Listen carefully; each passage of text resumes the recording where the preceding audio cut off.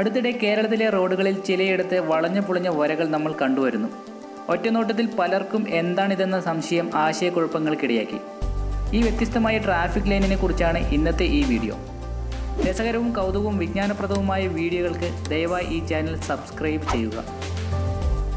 അടുത്തിടെ കേരളത്തിലെ റോഡുകളിൽ പ്രത്യക്ഷപ്പെട്ട വളഞ്ഞു പുളഞ്ഞ വരകൾ പുതിയ കാഴ്ചയായിരുന്നു.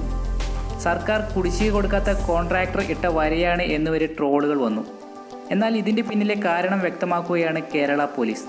പോലീസിന്റെ ഫേസ്ബുക്ക് പേജിലാണ് ഈ വളഞ്ഞ വരകൾ എന്തെന്നുള്ള സൂചന വ്യക്തമാക്കിയത്.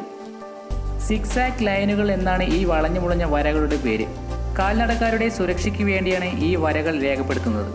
തിരക്കേറിയ കവലകളിലും സ്കൂളുകൾക്ക് മുന്നിലുമാണ് ഇത്തരം വരകൾ അടയാളപ്പെടുത്തിയിരിക്കുന്നത്.